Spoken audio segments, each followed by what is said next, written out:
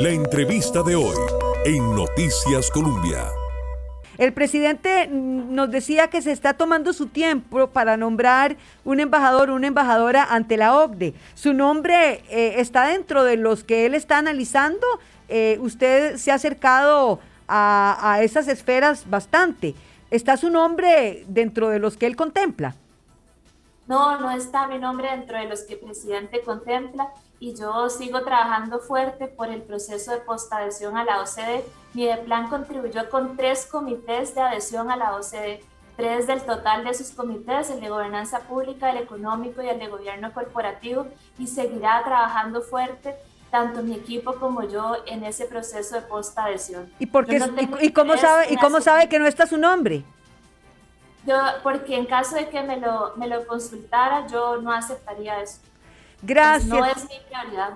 Gracias. Muchas gracias, ministra, por, por, la, por la honestidad. Muchas gracias por esta entrevista también. Son las 12 con 2. Nos vamos a una pausa y volvemos con más noticias. Escucha Noticias Colombia. En breve volvemos. En breve volvemos. Noticias Colombia.